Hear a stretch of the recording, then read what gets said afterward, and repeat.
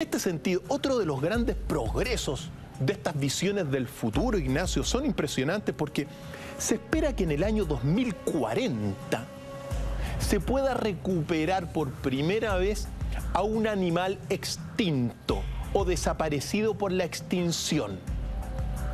Fantástico eso sería. ¿Por qué?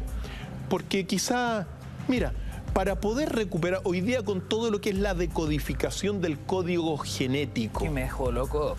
¿Por qué, Ignacio? ¿Cómo un, un, animal extinto puede ser devuelto a la vida? Con todo lo que se llama la ingeniería genética. O sea, estamos hablando de un Jurassic Park. Sí. o algo así. real. Así es. Y para eso se necesita lo primero, un ADN en buen estado. Es decir, si se logra recuperar de algún animal extinto el ADN que no esté en mal estado, ese es el primer paso. Después, todo viene el segundo, periodo, el segundo paso que es la secuenciación o decodificación de ese genoma. Y el tercer paso, una vez decodificado el genoma de la especie extinta, es encontrar algún animal similar que pueda engendrarlo. Engendrarlo, pero ya todo el ADN recompuesto artificialmente a partir de, bueno, también de otros ADN naturales. La construcción de estos ADNs podrían generar lo que se llama en bioingeniería la resurrección de animales extintos, como el demonio de Tasmania, o como, mira, algunos han encontrado, por ejemplo, eh, un mamut, se ha encontrado hace unos años en unas condiciones que no son tan, tan malas.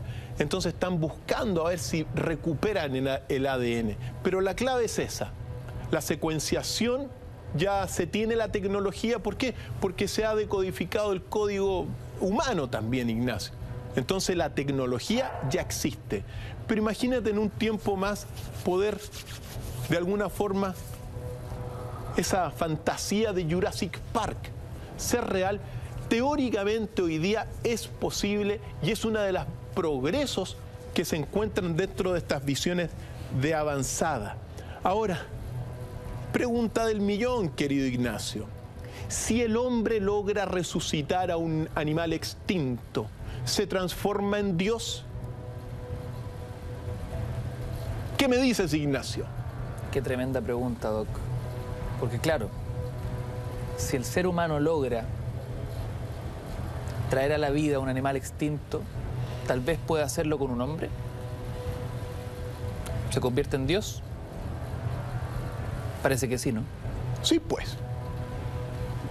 El hombre se transforma en Dios. El hombre en gran medida, siempre hay que recordar. Qué miedo.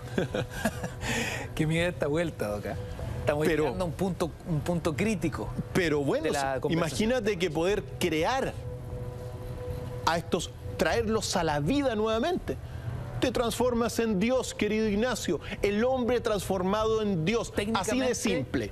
Resucitando un muerto. Sí, pues. Técnicamente eso.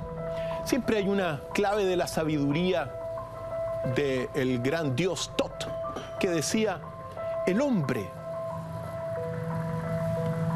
es un dios mortal y el dios es un hombre inmortal. Doc.